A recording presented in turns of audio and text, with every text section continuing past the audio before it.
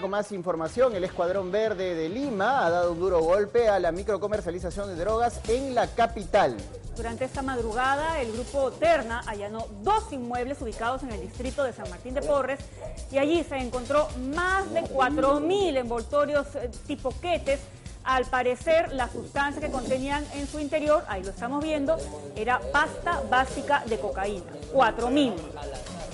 Los agentes han tenido que romper las puertas de las viviendas para ingresar y revisar cada rincón en medio de las prendas de vestir, incluso debajo de los colchones han encontrado esta ilegal mercadería. Durante el operativo la policía también intervino a dos personas, quienes son Ángel Wilfredo Herrera Lozano de 36 años y Carlos Emilio Polanco Olivera de 60.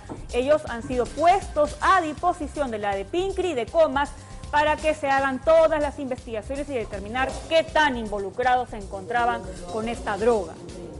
También se ha incautado dinero en efectivo y gran cantidad de municiones, un duro, un duro golpe sin duda para la microcomercialización de drogas.